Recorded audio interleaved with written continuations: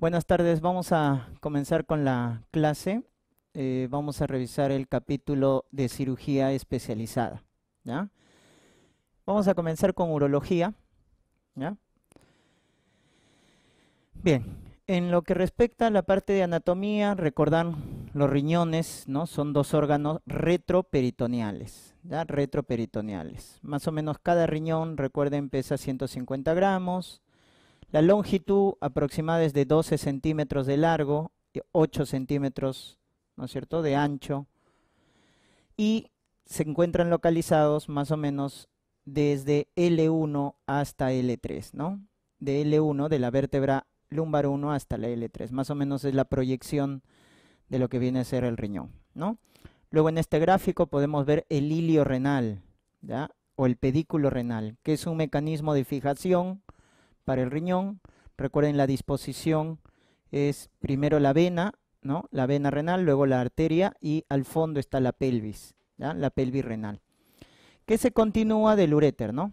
Pelvis uréter. Entonces acá quiero que recuerden en el uréter eh, más o menos su longitud es 25 centímetros, su diámetro es 5 milímetros del uréter y tiene tres zonas estrechas, que es lo que tienen que recordar. La primera zona estrecha es la unión pielo-ureteral, la unión pielo-ureteral. La segunda zona estrecha es cuando atraviesa los vasos ilíacos, miren, pasa por encima de los vasos ilíacos.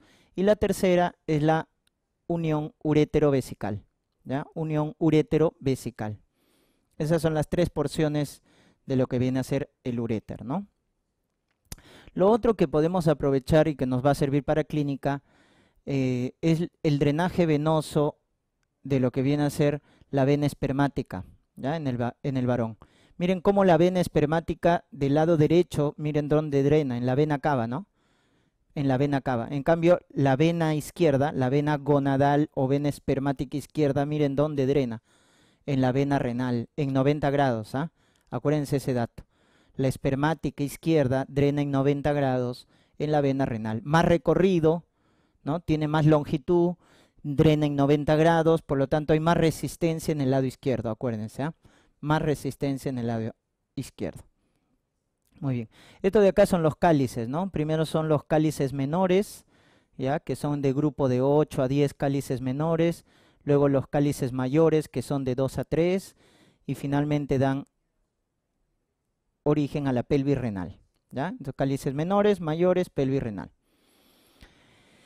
Eh, luego tenemos la vejiga, que es un reservorio. Recuerden, la vejiga almacena la orina, 450 mililitros, su capacidad pero el reflejo de la micción, recuerden, acá está, lo que está subrayado siempre de amarillo es pregunta examen, el reflejo de micción se activa a partir de los 150 mililitros, ¿ya? a partir de los 150 mililitros. Muy bien, el que contrae la vesícula, ¿quién es el que contrae, perdón, a la vejiga, al detrusor, ¿no? ¿Quién contrae al detrusor? La acetilcolina, acuérdate, con sus receptores muscarínicos contra el detrusor. En cambio, quien relaja el detrusor, el que relaja el detrusor es la norepinefrina con sus receptores beta. Entonces la acetilcolina con sus receptores muscarínicos contrae al detrusor. O sea, chicos, que el parasimpático es el que va a permitir la micción a través de la acetilcolina, porque es el que contrae el detrusor. En cambio, el simpático relaja el detrusor, por lo tanto, genera la continencia urinaria la continencia urinaria. Muy bien, recuerden ese dato. Luego tienen acá la uretra, ¿ya? la uretra en el varón es más larga, ¿no? Con respecto a la mujer. En el caso del varón, la uretra llega a medir 20 centímetros, en el caso de la mujer llega a medir 4 centímetros, ¿no? Por el órgano copulador, en el caso del varón tenemos cuatro porciones en la uretra, ¿ya?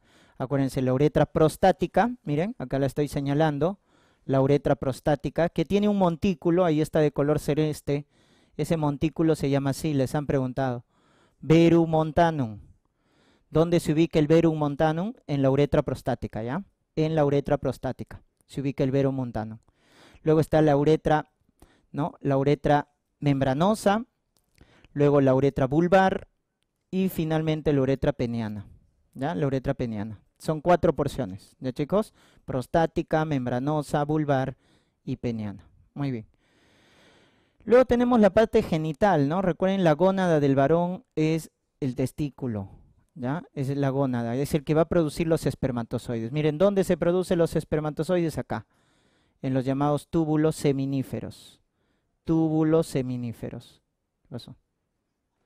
Los túbulos seminíferos es la estructura en la cual se van a producir entonces los espermatozoides. Miren, acá está la pared de los túbulos seminíferos y ahí se van a producir los espermatozoides. ¿Y quién favorece la producción de espermatozoides? Porque esto viene a ser la espermatogénesis, ¿verdad? La espermatogénesis. La célula que favorece eso es la célula de Sertoli. ¿ya? Recuerden, la célula de Sertoli nutre, protege a los espermatozoides. O sea, favorece la espermatogénesis. ¿ya? Todo esto pasa en la pared de los túbulos seminíferos. ¿ya? En la pared de los túbulos seminíferos. Muy bien, luego ya se capacitan, ¿no? Cuando te preguntan dónde se capacitan los espermatozoides, adquieren movilidad, acá, en el epidídimo. ¿Ya? Acá está la cabeza del epidídimo, ahí los espermatozoides se van a capacitar para adquirir movilidad. Luego tienes el cuerpo, la cola, ¿no? Acuérdense la cola del epidídimo, ¿a quién le gusta? A la tuberculosis, ¿no? La zona que más afecta a la tuberculosis es la cola del epidídimo. Muy bien. Pero para favorecer todo esto de acá, que viene a ser la espermatogénesis, hay un estímulo hormonal, porque el varón cada 65, 72 días, recuerden, está produciendo espermatozoides. ¿Ya chicos? Entonces, eh, para ello hay un, hay un control hormonal. Miren, acá tienen el hipotálamo que produce la GnRH, ¿no? A través del núcleo arcuato, recuerden, ¿ah? El núcleo arcuato o arqueado del hipotálamo produce GnRH que estimula la hipófisis y la hipófisis va, a producir la LH y la FSH, ¿no? Las llamadas gonadotropinas. Ya está. Miren, la FSH, ¿dónde va a trabajar? Acá. Tiene sus receptores en la célula de Sertoli. ¿Ya? La FSH tiene su receptor en la célula de Sertoli. ¿Y qué va a estimular la célula de Sertoli? La espermatogénesis. La espermatogénesis. ¿Ya? Muy bien. En cambio, la LH, ¿dónde va a tener sus receptores? En la célula de Leydig. ¿Y qué va a hacer la célula de Leydig? Producir testosterona. Producir testosterona. Que luego se convierte a dihidrotestosterona, ¿verdad? Que es el andrógeno más importante del varón. ¿ah? El andrógeno más importante del varón es la dihidrotestosterona. A través, ¿no? Se convierte por la 5-alfa reductasa. Recuerden, la 5-alfa reductasa convierte la testosterona en dihidrotestosterona. Entonces ese control hormonal, acuérdense, ¿ah? gen RH del hipotálamo estimula la hipófisis y la hipófisis produce LH y FSH. La FSH, ¿a quién estimula, chicos? La FSH a la célula de Sertoli para favorecer la espermatogénesis. La LH a la célula de Leydig para producir testosterona. ¿Estamos? y hay un feedback negativo. ¿Quién es el que da el feedback negativo? La inhibina. La inhibina es el que va a ir a la hipófisis y la va a bloquear porque hace un feedback negativo. ¿Y quién lo produce? La célula de Sertoli. ¿Ya chicos? La célula de Sertoli produce inhibina y es el que da el feedback negativo a la hipófisis. Acuérdense de eso. Muy bien, ahí hemos visto entonces algunos detalles importantes de la parte de básicas. Vamos ahora a la parte clínica. Cuando hablamos del síndrome escrotal hay dos tipos, ¿no? El crónico y el agudo, ¿ya chicos? El agudo es el que viene el paciente con intenso dolor a nivel testicular. En cambio el crónico generalmente viene asintomático, simplemente con aumento del volumen escrotal. O sea, aumentado el volumen escrotal, ¿no? Pero no tiene mucho dolor, es poco sintomático cuando es crónico. En cambio el agudo sí, el agudo te va a venir por emergencia pues el paciente tiene bastante dolor. Entonces, cuando te hablen de un adolescente, en un adolescente la patología escrotal más frecuente es el varicocele, ¿ya? El varicocele. Chicos, ¿qué es el varicocele? Es la dilatación, como están viendo ahí, dilatación del plexo venoso pampiniforme, ¿ya? Dilatación del plexo venoso pampiniforme, pampiniforme, que viene de las venas espermáticas, ¿ya? El plexo venoso pampiniforme se forma de las venas espermáticas. Por eso les comentaba el detalle de la anatomía, ¿no?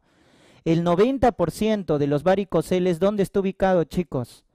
En el lado izquierdo. ¿Por qué en el lado izquierdo? Ah? Porque la vena espermática del lado izquierdo de nave en 90 grados en la vena renal. Acuérdense de ese detalle del lado izquierdo, ¿no?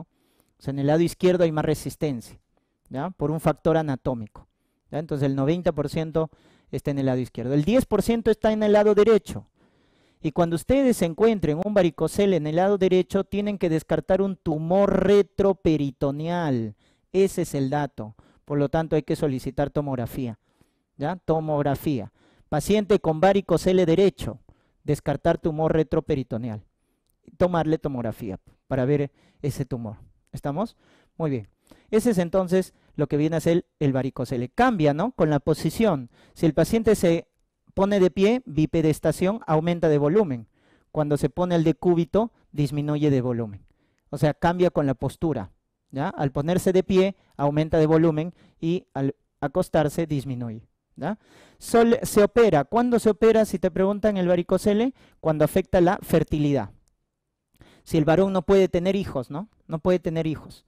O es muy sintomático, muy sintomático, mucho dolor, pesadez, molestia, ahí también hay que operar. Muy bien, pasamos al segundo, el hidrocele. Esto lo, podemos ver en el lactante, ¿no? El hidrocele, ¿ya? El hidrocele congénito.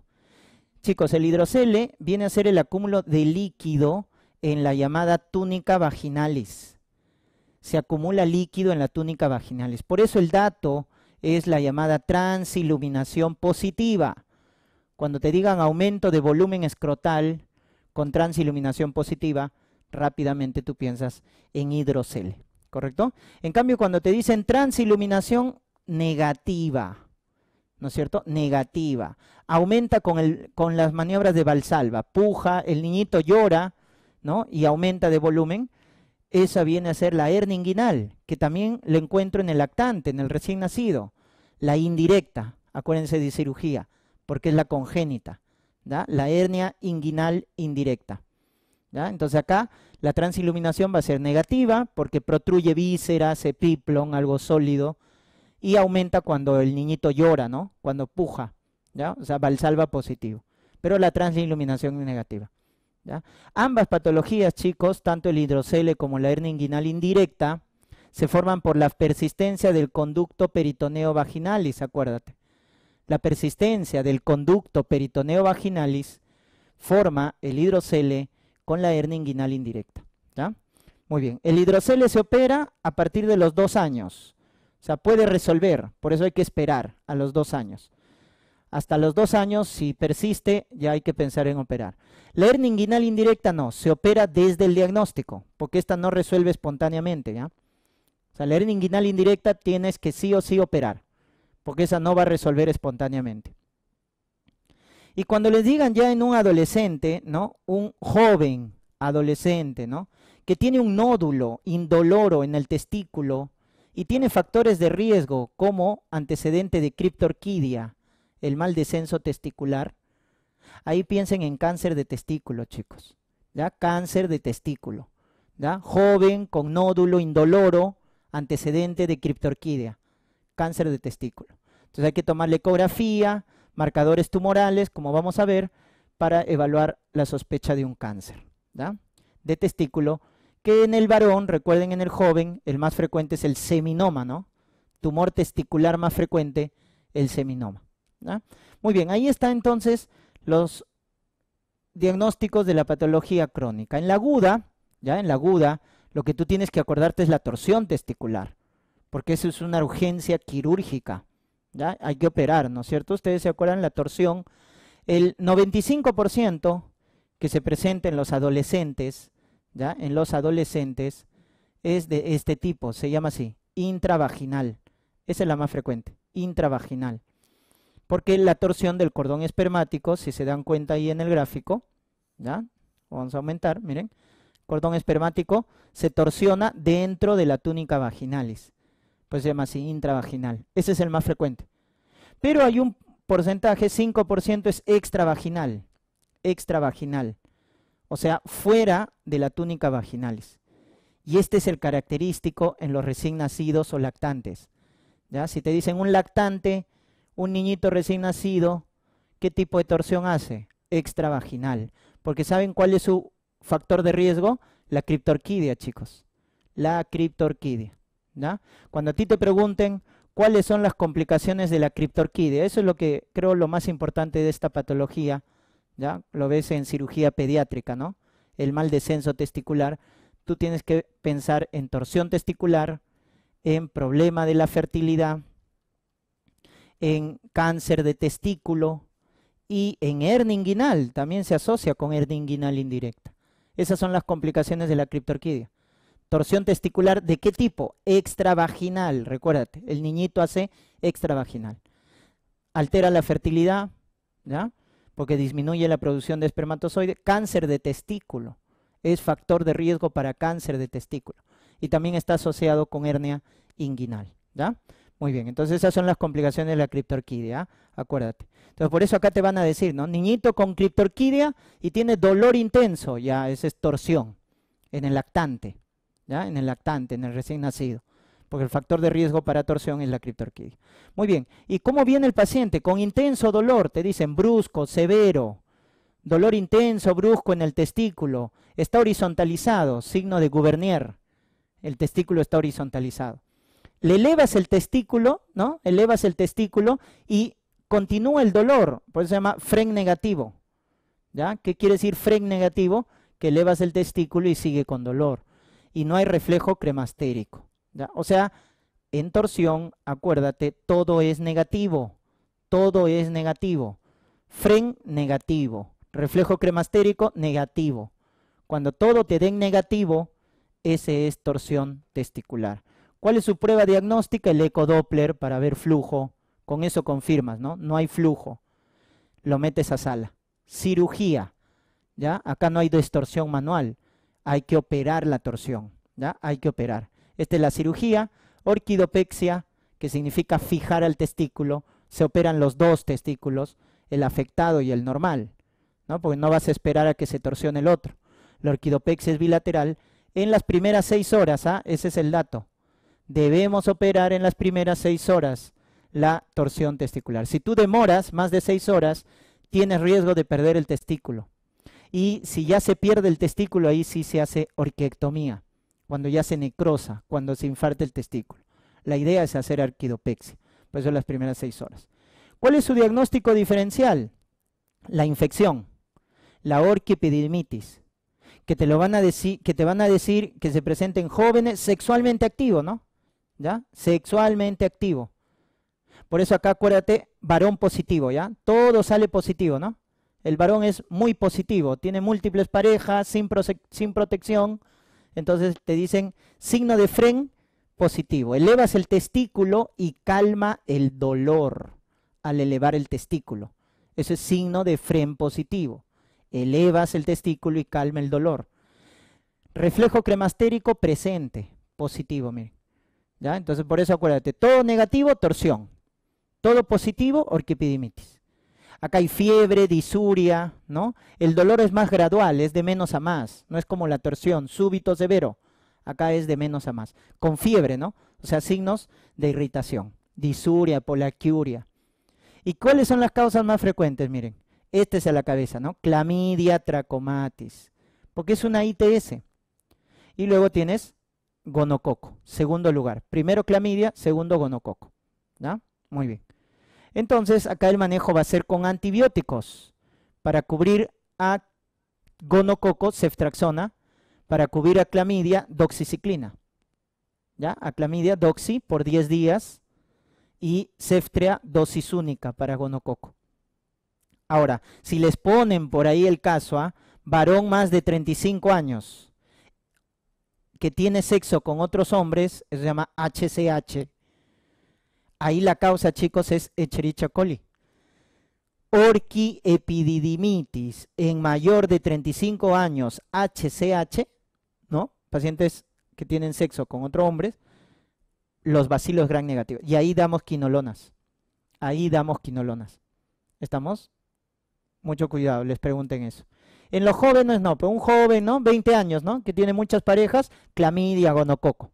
¿Ya? Ahí clamidia, gonococo. Muy bien. Y la otra es la gangrena de Fournier, que es una faseitis necrotizante de la región perineal. Acá les van a decir dolor difuso de toda la región perineal, no solo del testículo, sino de toda la región perineal, con fiebre, con dolor intenso. Miren esas flictenas hemorrágicas, ¿no? Característico. Flictenas hemorrágicas. Y el paciente se choca, hace hipotensión, se descompensa. ¿Ya? Muy bien. ¿Qué pacientes hacen esto? Pacientes diabéticos, descompensados, pacientes eh, alcohólicos, adultos mayores, ¿no? Esos pacientes son los que hacen este tipo de complicación, sobre todo los diabéticos descompensados. ¿Cuál es la conducta terapéutica más importante? El debridamiento quirúrgico. El debridamiento. Y obviamente sus antibióticos de amplio espectro, carbapenén, clindamicina, ¿ya? vancomicina, con todo eso se cubre a la fasciitis, ¿no? Carbapenén, vancomicina, clindamicina. Muy bien, pero el manejo más importante es el debridamiento quirúrgico. Bien, en caso de TB urogenital, recuerden, ¿cómo llega la tuberculosis al riñón? Por vía hematógena, chicos. Por vía hematógena llega al riñón. ¿Y qué produce en el riñón? El famoso riñón masticado. ¿Qué es el riñón masticado? Genera necrosis, genera granuloma, ¿dónde? En la corteza. Necrosis, granuloma. Acuérdense, es una necrosis característica, ¿no? Con calcium. Necrosis casiosa granulomas con calcium. Esa es tuberculosis. En el uréter, ¿qué genera en el uréter? Uréter rosariado, así se llama, uréter rosariado, porque genera varios puntos de estenosis. Uréter rosariado. En la vejiga, microvejiga, microvejiga, por esclerosa al detrusor, chicos. Esclerosa al detrusor, microvejiga. ¿Ya? Muy bien. Y luego la parte genital. En el varón, ¿qué es lo que más afecta? La cola del epidídimo. Cola del epidídimo. En la mujer es las trompas, ¿verdad? En el varón es la cola del epidídimo, porque produce una orquiepididimitis crónica. Ojo, ¿ah? las que hemos visto acá, clamidia, gonococo, es orquiepididimitis aguda. Va con fiebre, con dolor, el agudo. En cambio, si te dicen orquiepidimitis crónica, son nódulos indoloros. Cuando te digan nódulos indoloros en el testículo, en el epidídimo, tienes que descartar tuberculosis. Nódulos indoloros en el testículo, en el epidídimo. Descarta tuberculosis. Y cuando te hablen de la triada de Colombino, ¿en qué vas a pensar? En una cistitis, en una ITU por tuberculosis, ¿no? la famosa triada de Colombino. Triada de Colombino. pH ácido de la orina con leucocitos, piuria y el cultivo negativo. Cultivo negativo. Ya está. Piuria ácida estéril. Esa es la triada de Colombino. Piuria ácida, ¿no es cierto? Estéril. ¿ya? Es la triada de Colombino. Ahí piensen en cistitis por tuberculosis. Ya está. Entonces esa es la afectación de TB, ¿no? En el sistema urogenital. Pasamos a un tema ya más importante, porque es el más preguntado en los exámenes, lo que es la incontinencia urinaria. ¿Ya chicos? En el caso de la incontinencia, miren, tienen la de esfuerzo y la de urgencia, ¿ya? Lo que tienen que hacer es diferenciar, ¿ya? La patogenia, la clínica, los factores de riesgo y el tratamiento. Entonces, miren, en la de esfuerzo, tú lo que tienes que recordarte es que el detrusor está relajado, pero sin embargo la mujer pierde la orina. Pero si el detrusor está relajado, ¿por qué se pierde la orina? Porque está aumentado la presión abdominal, porque está débil el piso pélvico. Cuando a ti te hablen de esas causas, debilidad del piso pélvico, aumento de presión abdominal, entonces ahí se presenta la incontinencia de esfuerzo. Por eso sus factores de riesgo, miren, este es el más importante, el obstétrico, ¿no? La multiparidad.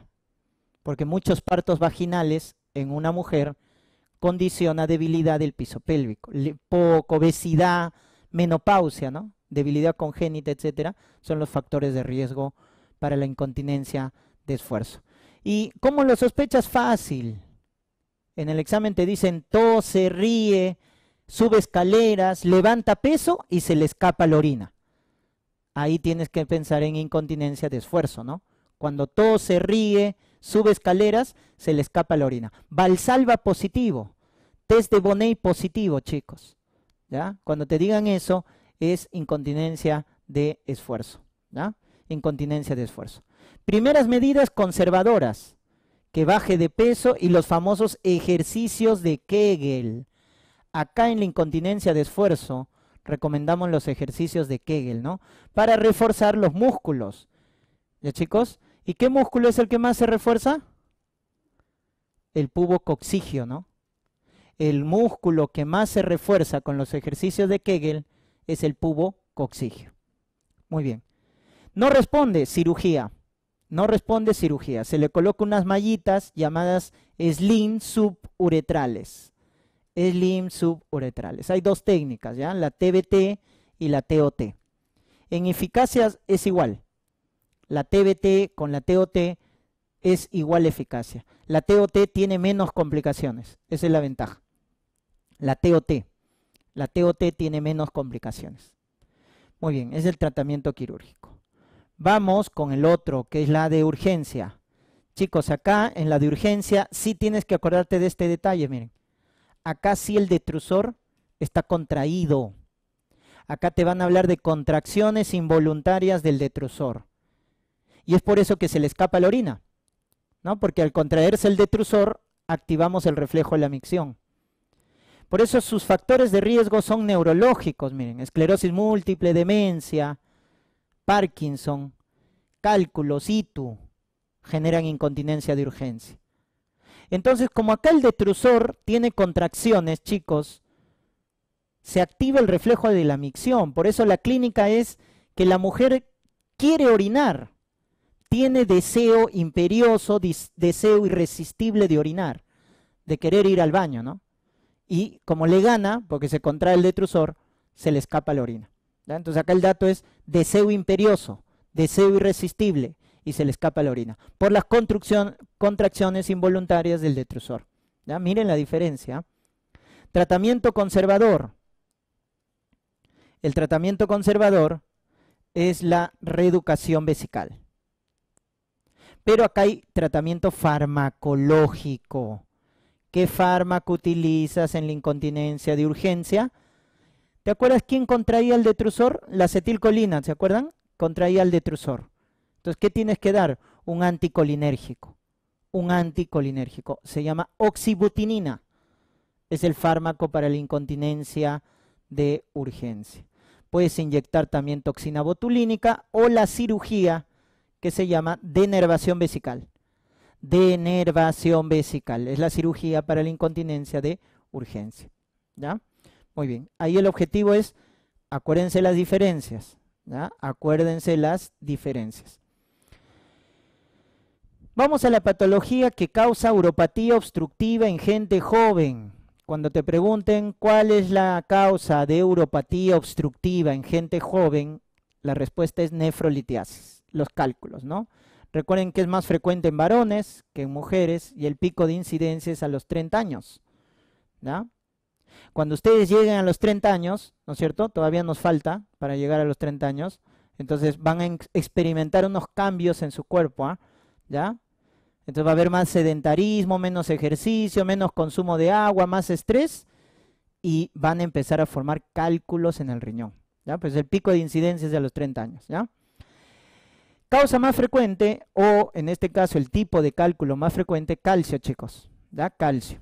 Es el cálculo más frecuente. Este de acá. Oxalato de calcio. Ese es el más frecuente de todos. Oxalato de calcio. Que es radiopaco, más frecuente en varones. ¿Ya? Y este es su causa más frecuente. El hecho de excretar en la orina bastante calcio. Si uno elimina en la orina bastante calcio, la llamada hipercalciuria, ¿ya chicos? Es cuando uno elimina más de 200, 300 miligramos de calcio en orina, entonces va a formar cálculos de calcio, porque el calcio se precipita, ¿ya? Muy bien.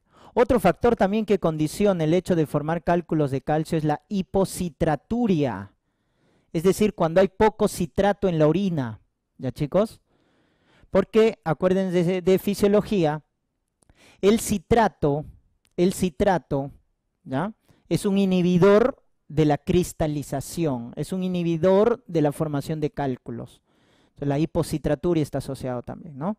El hiperparatiroidismo, si te preguntan, un paciente con hiperparatiroidismo aumenta calcio en la sangre y por lo tanto también va a aumentar calcio en la orina. Entonces va a formar, ¿no? ¿Ya? Eh, estos cálculos. ¿Qué fármaco disminuye la excreción de calcio en la orina? Les pueden preguntar. O sea, ¿con qué fármacos trato la hipercalciuria? Con las teacidas, chicos. Recuerden, las teacidas tratan la hipercalciuria. Las tiacidas tratan la hipercalciuria. Entonces le damos a los pacientes que tienen cálculos de calcio, cuando tienen hipercalciuria, hidroclorotiacida. Luego tenemos el cálculo más grande, al que le llaman, ¿no? En asta de venado, coraleliforme o estrubita. ¿Cómo se llama ese cálculo? Fosfato, amonio, magnesio. Fosfato, amonio, magnesio. Son los más grandes, porque adoptan la forma de la pelvis renal, ¿no? A nivel microscópico, recuerden, tiene forma de ataúd. ¿ya? A nivel microscópico, cuando te digan, ¿no? ¿Qué cálculos tienen forma de ataúd? Los de estrubita. Y son más frecuentes en mujeres, radiopacos. ¿Y por qué en mujeres? Porque está asociado a infección urinaria. Este es el famoso cálculo infeccioso, chicos. Cálculo infeccioso. Debido a las bacterias que tienen esta enzima, ¿no? Uriasa positiva. Uriasa positiva. ¿Y cuál es la, la bacteria más asociada?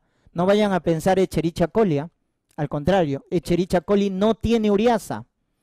La más asociada acá es Proteus mirabilis. Eso tienes que acordarte cuando te digan cálculo infeccioso. Proteus mirabilis.